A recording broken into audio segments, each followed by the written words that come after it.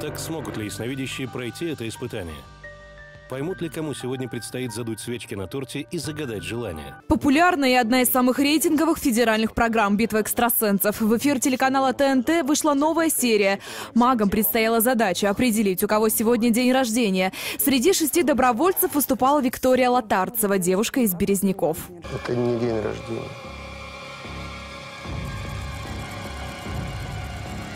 День смерти. Двухэтажное такое вытянутое здание. И тебя, тебя в машине везут.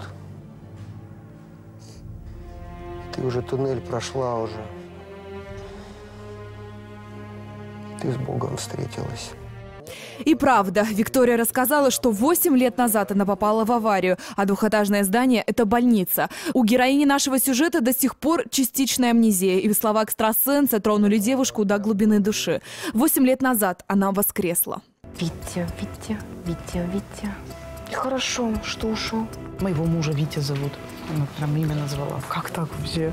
Ну, не может человек знать даже имена какие-то Мэри, Мэрилин Киро. Она называла все имена из моей жизни вообще. Даже вплоть до того, что имя первой любимой мамы даже назвала. Как она могла это знать? Я же этого вообще ничего не озвучивала, не говорила. Сегодня Виктория приехала в Березники со съемок передачи и ответила на главный вопрос всех телезрителей. Конечно, настоящий. Я сейчас могу на всю страну сказать, то, что это не шоу, это не подстава. Там нет сценариев, нет подготовки вообще никакой. То есть мы даже друг друга не знали до съемок. Мы не знали, в чем суть будет испытание. Особенно приятно для Виктории верить в чудеса магии после слов экстрасенсов, что ее жизнь в скором времени изменится в лучшую сторону сторону. Таких же изменений для всех телезрителей желают Екатерина Федорова и Александр Зибзеев. Новости на ТНТ.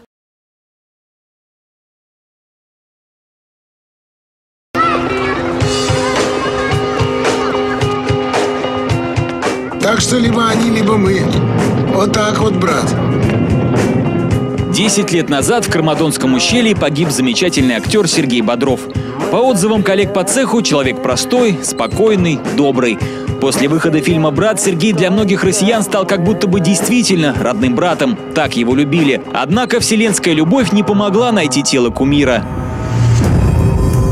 После того, как в Кармадонском ущелье сошел ледник, съемочная группа Сергея Бодрова перестала выходить на связь. Казалось, тем самым братом беды случиться не могло. Звезды не ездят в метро и не попадают под ледяные лавины. Страдать, болеть и даже умирать они могут только на экране, но не в жизни. Мрачный Кармадон хранит свои тайны до сих пор. В Москве мы встретились с победителем битвы экстрасенсов Мехди, чтобы приблизиться к разгадке этой истории. Имя – Мехди Ибрагими Вафа, победитель битвы экстрасенсов и ясновидящий. Способности. Мехди рассказывает, что дар обнаружила мама. Уже в 6 лет он был способен забирать от людей негатив. Деятельность. Уже два года не ведет приемы, завязал с экстрасенсорикой. Занимается музыкой, рисует картины и пишет книги. На встречу с экстрасенсом мы пригласили Ирину Салтыкову, которая исполнила одну из главных ролей в картине «Брат 2». Еще часа на три, на четыре. Думала, раньше закончу. Режиссер видишь. Слушай, давайте дом подожду. А? Обсудить трагедию Сергея Бодрова Мехди уже предлагали несколько телеканалов, но только нам он согласился ответить на все вопросы. Они почувствовали сильный холод, но они не обращали внимания. После этого они слышали крик горы. Очень сильный звук громкий звук. Это как крик, львиный крик. И они не смогли ничего сделать, просто смотрели и все. Мехди чувствует, все произошло буквально за 10 секунд. И уже 10 лет подряд никто не знает, почему погибли все эти люди. О том, что там э, лавина, опасное место, они все прекрасно и знали. Вот они красиво так и сказать. Душа горит забирает человеческие жизни. Это тайна, это загадка. Были у них э, знаки от того, что какие-то предупреждения, предупреждения. Около 5-6 человек вообще болели, не хотели поехать. У них была озноб температура. Все техника, которые они хотели взять для съемки, и они с утра лишь строя. Вообще они не работали. Это похоже как на ловушка. Это ущелье, как магнит, их вызвало себе. Я считаю, что Если даже они бы в другое время туда поехали, это бы случилось, потому что великие люди, великие актеры, у них судьба предназначена свыше. Он быстро, рано ушел для того, чтобы стать вечным на память каждого из нас. Мехди Ибрагими Вафа организаторы битвы экстрасенсов называют одним из сильнейших поисковиков. В нашей программе иранский ясновидящий согласился назвать место, где искать тела съемочной группы. Могу вам сказать, что если кому-то интересно искать пропавших телах, они около берега. Ну, конечно, там очень много льда, много камней, но там, около берега, можно их искать. Несмотря на все подробности, о которых говорит экстрасенс, певица Ирина Салтыкова не верит Мехди и лично хочет убедиться в его силе. А вот я вообще не верю экстрасенсам. Вообще. Спасибо, это очень хорошо. Вот. И для того, чтобы я вам поверила, скажите мне что-нибудь про меня, то, что я не знаю или вы не знаете. Ну, короче. Знаете, когда люди известны, у каждого есть секреты. А если сказать то, что все знают, практически про вас все знают все. Это очень легко написать в интернете, и много информации будет. А то, что сказать лично про вас, это лично ваша жизнь. Но если хотите, я скажу. Говорите. Не боитесь? Нет. Отлично. И значит, действительно хотите проверить. Вот то, что я чувствую на левой руке, это страх. А то, что на правой, это связано с э, низкий иммунитет, связано с... Вам не помешала бы защита. Что делать? Защита поставить. От кого? От завистника. От тех, кто завидует. У меня стоит. Я их ищу. Это очень хорошо. Я когда шла сюда и подумала, сколько же у меня завистников. За что? Почему? Надо всем сказать, не завидуйте. Главный разоблачитель шарлатанов Сергей Сафронов готов дать совет всем, кто решится пойти на прием к экстрасенсу. Нельзя цепляться за общие фразы. Нужно... Вот у нас есть экстрасенс, который говорит, я не вижу. Он говорит, я не вижу прошлого. Я вижу будущее, Бог мне дал будущее, дар вижу. Прошлое нет. Не, ну знаете что, будущее я вижу. Будущее вы видите, он видит. Я, кстати, думаю принять участие уже как экстрасенс в следующей битве. Недавно даже думал так вот. Центр ясновидящего Сергея Сафронова. А Мехди Ибрагими Вафы, оставивший экстрасенсорику, и вовсе советуют не верить в экстрасенсов. Человек должен в жизни верить в себя, сердцем верить в Бога, верить в чудеса, любить все окружающее. Тогда жизнь будет красивой. Зачем верить кого-то? Когда в 2007 году на экране телевизора вышел первый сезон, в силу своей глупости и молодости, я, признаюсь, тоже верил в эту чушь. Но сейчас, конечно же, это не так. И меня, если честно, удивило, что у этой передачи после стольких сезонов до сих пор большие рейтинги и достаточно большая аудитория. Ну, перейдем к обзору этой передачи и ее разоблачению.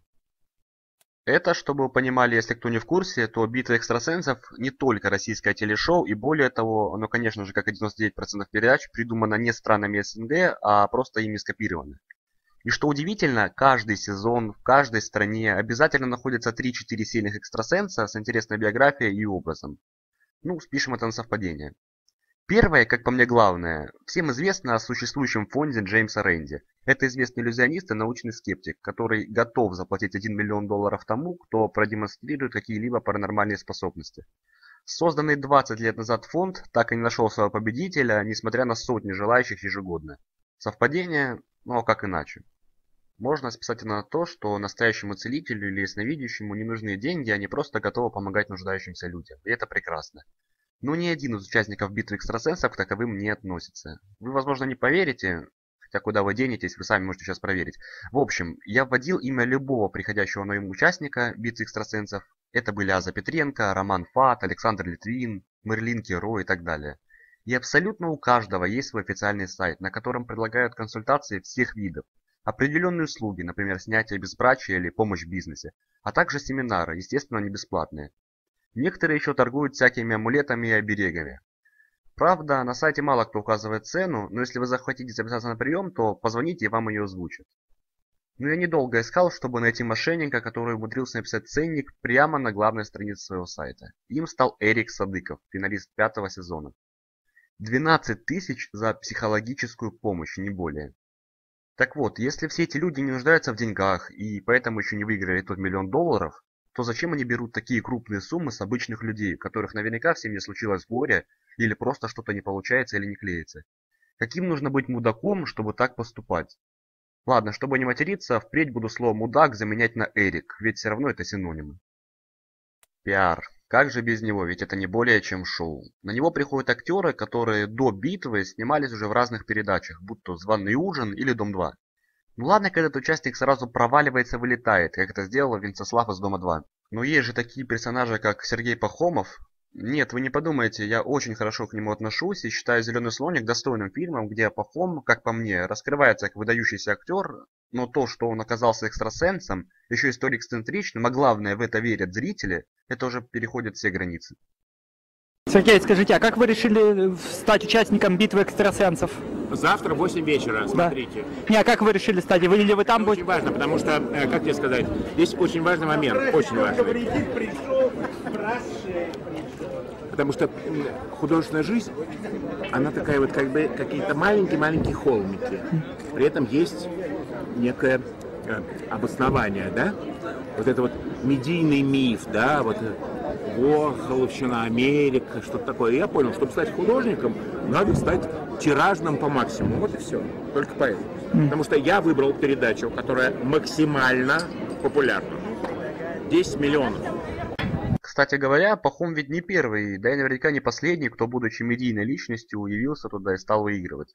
Ведь был еще Кадони, который является сейчас ведущим в Доме 2, а когда-то был участником и довольно-таки неплохим на битве экстрасенсов. Про это как-то уже все забыли. Но не только актеры могут являться участниками.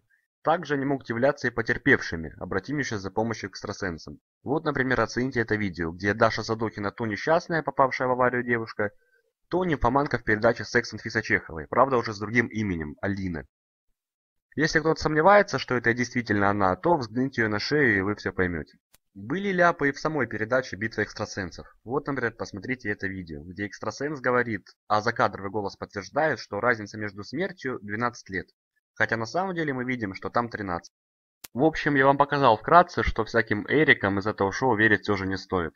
Я не знаю, может действительно есть люди, которые обладают какими-то высшими способностями за гранью человеческого понимания. Но поверьте, вряд ли они придут на это шоу, а потом будут создавать сайт и за деньги помогать несчастным людям. С вами был Анмаски ТВ, увидимся в следующем видео. 25 февраля 2007 года вышла первая серия одного из самых популярных, интернет говорит о 10 миллионах зрителей, ток-шоу России под названием «Битва экстрасенсов». С тех пор прошло почти 9 лет, и за плечами телеканала ТНТ уже 16 сезонов этой самой битвы. Несмотря на то, что в мире нет еще ни одного документально подтвержденного факта экстрасенсорных способностей, миллионы людей верят в происходящее на экранах. Они убеждены, что на шоу действительно настоящие маги, чародеи, шаманы, друиды, ведьмы, некроманты, люди с третьим глазом и раскрытыми чакрами, колдуны и прочие герои Варкрафта. Некоторые люди просто, блять, тупые. И хотя это не является стопроцентным доказательством того, что в мире нет ни одного человека, который обладает способностями видеть прошлое, вообще все видят прошлое, потому что оно, блядь, прошло. Или еще какими-нибудь скиллами, вроде переселения в птичку. В общем, это мало кого волнует. Люди верят и все тут. Так давайте попробуем разобраться. Есть ли на битве настоящие Люди X? И что это вообще за передача такая? Поехали!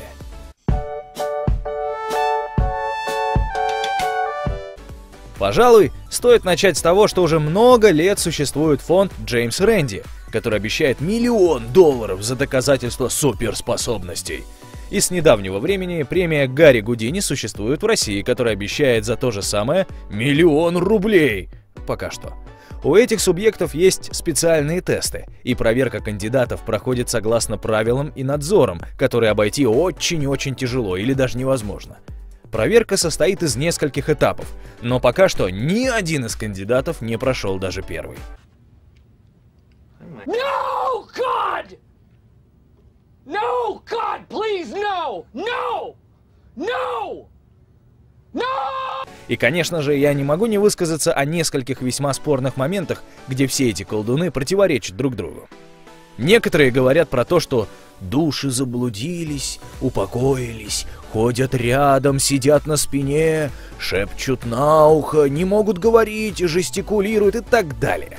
Многие призывают мертвых с определенного помещения или точки, но если подумать логически, то почти в каждой точке планеты погибло очень много людей, ведь человек существует очень давно, нас было десятки миллиардов, так почему же всегда появляется нужный дух, а не какой-нибудь австралопитек, который тут охотился на саблезубого тигра? Многие приходят на шоу с формулировкой типа «Я управляю водой», «Я повелитель металла», но мы так и ни разу не увидели реального управления любой субстанцией.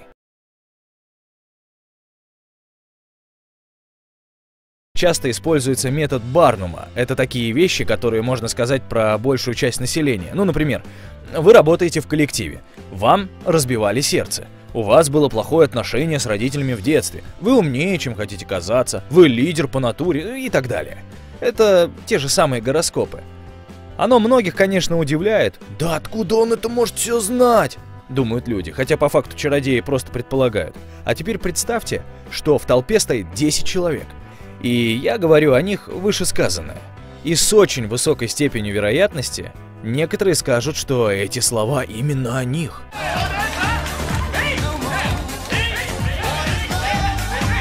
Зачастую шаманы делают утверждения, которые невозможно проверить, доказать или опровергнуть. Эти утверждения рассчитаны на глупых людей и отчаявшихся, которые и являются их аудиторией. Ну, вы все знаете эти выражения. «Я прожил 150 жизней». «Я не сплю, я гуляю в Австралии». «Я вижу энергию, чакры, ауру и сумрачный мир», ну и так далее. Представьте, что у вас пропал ребенок, и никто не может помочь. В таких ситуациях человек хватается за любые ниточки, и одна из них это экстрасенсы, которые будут врать вам с три короба, лишь бы заработать немного денег на вашем горе. Именно горе и отчаяние являются двигателем этой огромной машины обмана. Для кого-то это проблема со здоровьем, для некоторых потеря близкого человека или несчастная любовь, а кто-то просто тупой и хочет знать будущее. Чем больше людей страдает, тем богаче становится эта индустрия, если ее можно так назвать. Отличным примером служит то, что после развала СССР начался невероятный рост спроса на все сверхъестественное. Они заряжали воду, лечили камни в почках энергетическими волнами, грыжи танцами и прочая чепуха. И все это приравнивалось к народной медицине. У людей было много горя. Медицины нормальной не было, еды было мало, везде проблемы, вот оно и расцветало. Задумайтесь, если бы человек был хорошим, честным и добрым, обманывал бы он вас, чтобы получить денег? Готовы ли вы сказать незнакомой женщине, что ее сын все еще жив? Он не погиб на войне, а едет домой. Нормально ли, с моральной точки зрения, давать людям такие надежды? Честно ли лечить человека от цирроза печени какими-то амулетами или тотемами? Есть много случаев, когда доверчивые люди при острых болях ходили к народным целителям за травами, а через пару дней умирали от того, что у них аппендицит лопнул. Конечно же, все это очень плохо. Ну что же, давайте приступим к объекту нашей беседы, а именно к передаче «Битва экстрасенсов». И, пожалуй, самого яркого ее персонажа Джулии Ванг. Победительница 15 сезона Великой эпической битвы колдунов. У нее есть паблик ВКонтакте, где Джулия отвечает на вопросы, и для меня был интересен только один. В чем видите смысл жизни? У меня иные ценности, смыслы и цели. Они кардинально отличаются от человеческих. Но, конечно же, Денежки и слава нашу героиню не интересуют, особенно когда она продает куколок по 30 тысяч. Если мне такое приснится, я проснусь с мокрым матрасом. Ну нахер. Отец. Ну ты видел? Видел? И духи по 17 тысяч. Видимо, они отгоняют нечисть. Ну, тогда ведь логичнее использовать чеснок, особенно когда она снимается в кино или выкладывает фотографии в Инстаграм. Вот это поворот! О да, может для вас это будет шок, но до сражения в эпической битве Джулия снималась в фильме «Дневной дозор». И сериале «Бальзаковский возраст» или «Все мужчины СВО». Э, То есть она актриса. И актерское мастерство – это одна из самых главных способностей, помогающих экстрасенсу быть финансово успешным. До работы в кино Джулия работала парикмахером. Ну, знаете, парикмахером. Делала прически, там укладки, стригла бороды. Короче, парикмахером. Также Джулия работала фотомоделью и снималась в клипах. Ее настоящее имя – Юлия Владимировна Гаврикова. Уроженка Латвии, родилась 20 октября 1980 года. Среди ее высказываний есть также такие фразы. «Я дочь Люцифера, я не человек». «Я дочь Люцифера» — это очень интересное утверждение. Ведь если верить сериалу «Сверхъестественное», а что такого, имею право, Шучу, шучу. Давайте возьмем за источник легенды о Боге. Люцифер — это сын Бога, архангел. Если он сын Бога, а она, соответственно, дочь сына Бога, то получается, что она прямая внучка Бога. Интересно. Прямая внучка Бога, полуголая, в клипах снимается, людей стрижет, селфи в Инстаграм выкладывает. И если она прямой потомок Бога, то нахрена ей карты Таро и нафиг думать, прежде чем ответить? Ведь по сути она вообще на Марсе может жить. Лекарство от рака изобрести там. Но нет. Юлия Гаврикова утверждает, что ее настоящая жизнь по счету уже 150-я. Если прикинуть, что она жила по 50 лет в каждом воплощении, то возраст ее чакр, или как правильно говорить, 750 лет. То есть она родилась примерно в 1200-1300 году. Те данные уже могли бы быть задокументированы, и найти хотя бы части из 150 человек было бы хоть и сложно, но все же реально. Так почему же нашей Юлии не найти парочку могил или не рассказать о реальных фактах каких-нибудь исторических событий? Ну, наверное, просто ей неинтересно все мирское, у нее другие приоритеты. Ёленька изгоняет из людей бесов, но ведь она дочь самого главного беса. Эй, логика, иди-ка ты нахуй, бесполезная ты сучка. Я не человек. А, Тоже весьма интересное высказывание. Вроде выглядит как человек. Родилась от мамы и папы, даже в школе училась, людей стригла, руки, ноги, голова, сиськи. Обычная женщина. Кушает, писает, слышит и говорит. Ведет аккаунты на Ютьюбе, в Инстаграме, ВКонтакте. Ничего нечеловеческого нет.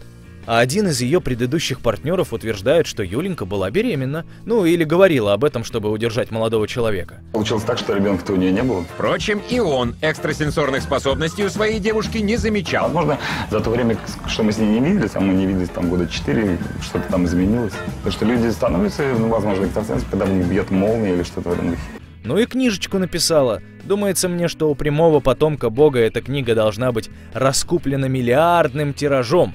Но что-то пошло не так. В своем паблике Юля говорит, что кушает в основном печень, а вот в интервью уже и про вареницы рассказывает. Я достаточно часто ем сладкое, по большому счету. Люблю варенье. Но в целом наша Юленька в любом случае далеко не самый глупый человек. И, кстати говоря, довольно привлекательная женщина. Надеемся, все у нее будет хорошо. А по поводу самой битвы экстрасенсов можно сказать следующее. Это в первую очередь шоу, где есть сценаристы, продюсеры, режиссеры, операторы. Где нужно, они добавят эпическую музычку, где нужно, вырежут кадр или вообще поменяют их местами. Все люди, участвующие в этом шоу, конечно же, подписывают контракт и договор о неразглашении. А чего бояться продюсерам, если они показывают правду? Это развлечение, это бизнес. И за свои рейтинги люди, зарабатывающие на этом деньги, перегрызут глотки любому. Они не только Пахома туда притащат. Если будет нужно, найдут человека, похожего на Гитлера или Иисуса, и скажут, что он восстал из мертвых. А вы так и будете смотреть. Очень жаль, что эта индустрия такая огромная, и что она зарабатывает деньги благодаря миллионам людей ежегодно. У миллионов отчаявшихся или просто глупых людей, кормя их обещаниями, приветами от умерших или пропавших родственников, или предложениями вылечить серьезную болезнь. Верьте только в то, что осязаемо и проверяемо. Спасибо за просмотр. Оставайтесь на линии, сейчас вам нужно будет подписаться на канал и поставить лайк. До встречи!